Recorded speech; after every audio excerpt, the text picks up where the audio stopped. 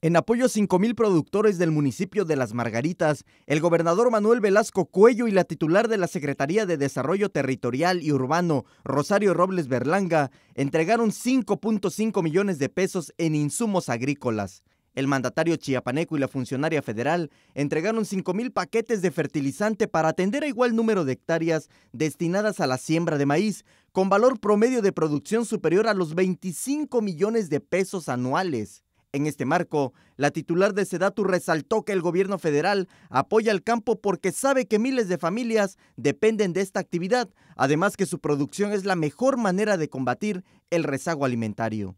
Robles Berlanga sostuvo que Las Margaritas es uno de los municipios prioritarios dentro de la Cruzada Nacional contra el Hambre. Por ello anunció que se construirán más de 166 cuartos adicionales. Por su parte, Velasco Cuello refrendó el compromiso de su gobierno para seguir fortaleciendo el campo chiapaneco y subrayó que su administración trabaja con la federación para acercar más programas y proyectos que garanticen bienestar, progreso y una mejor calidad de vida a las familias. 10 Noticias.